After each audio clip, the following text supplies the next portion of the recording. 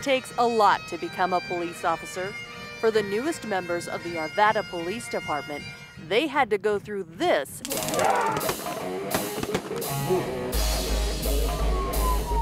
at the Jefferson County Regional Academy